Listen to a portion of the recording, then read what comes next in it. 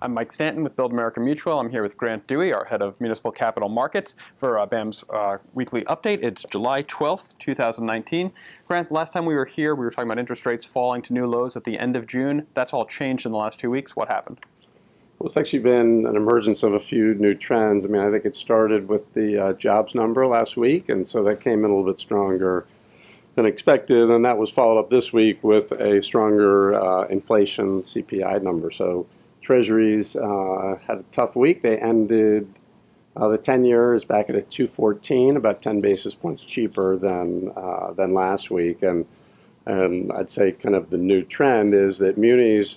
Um, you know, outperform quite a bit. So, uh, you know, we look at it in terms of a muni ratio to treasury yields, and so in the 10-year part of the curve, the ratios went from 82% down to 74%. So a, a full eight ratio move, which um, which we haven't seen in quite a while. It basically reversed the trend of the previous few weeks where munis had been underperforming. So um, we had a bit of a reversal. And, and some of that, I think, is typical when you have treasury rates rallying. Munis do tend to underperform a little bit. When treasuries come off, they do tend to hang in there a little bit. So uh, it is a little bit of a directional trend. Right. And so then in the new issue market, uh, after the holiday, returned to kind of a normal volume, about 6.9 billion uh, yep. price this week. Yeah. Uh, uh so, how was BAM? What did BAM do? So uh, we had a good week. We we wrapped uh, 11 new issues. We, I would say highlighted by a, UC, a University of California Riverside student housing deal. So where we did about 30, 32 million of that.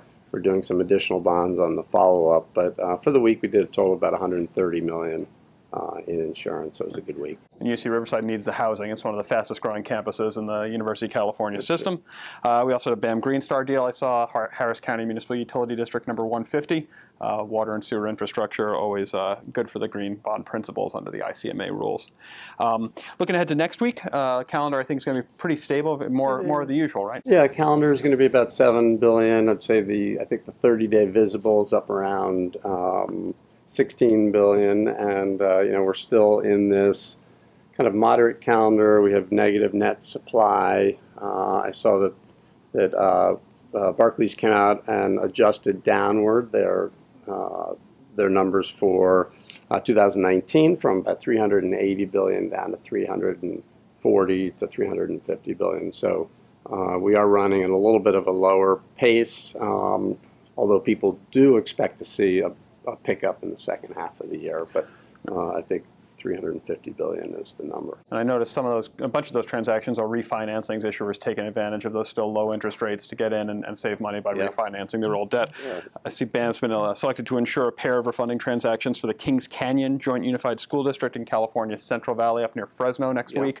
Uh, it's totaling about $17 million. It's going to be priced by Stifel, uh, backed by the district's general obligation unlimited tax pledge. Uh, down in Alabama, BAM's been selected to insure about $12 million of bonds sold by the trustees of the Alabama Community community college system. They're going to fund uh, refinancing, but also uh, improvements to the student center yep. at Snead State Community College, which is about an hour south of Huntsville. And uh, of course, Grant, you and the desk are always uh, willing to respond to inquiries about secondary market insurance. Sure. Yeah, we continue to see good flow in the secondary, uh, and and so we're reaching out and we're um, uh, kind of you know, it's an important part of our business, and um, these are deals as rates move and the market changes and credits. Uh, we get upgrades, downgrades. Uh, you know, there's quite a bit of opportunity in the secondary. Great. Well, that's our update for this week. We'll see you soon.